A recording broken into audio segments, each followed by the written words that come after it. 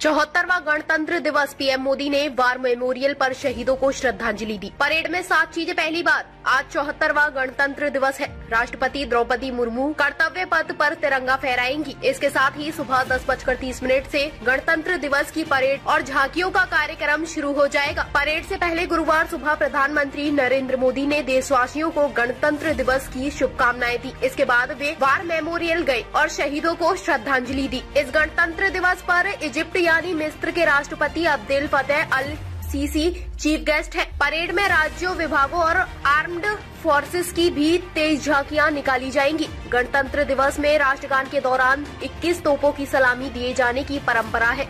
अब तक ये सलामी ब्रिटेन में बनी। 25 पाउंडर तोपों से दी जाती थी, जो तृतीय विश्व युद्ध के दौरान भी इस्तेमाल की गई थी। अब इनकी जगह भारत में बनी 105 एमएम इंडियन फ़ील्ड गन से सलामी दी जाएगी। ये तोपे जबलपुर और कानपुर की गन फैक्ट्री में बनाई गई थी। इन्हें उन्नीस सौ बहत्तर में डिज़ाइन किया गया था और ये उन्नीस से सर्विस दे रही है। दिल्ली एरिया के chief of staff major general Bhavnish Kumar ने कहा कि 105 एमएम देश में बनी तोपे हैं। इसलिए हम इनसे सलामी देना चाहते हैं। ये हमारे लिए गर्व का विषय है और हम इसलिए स्वदेशी तोप का इस्तेमाल करेंगे।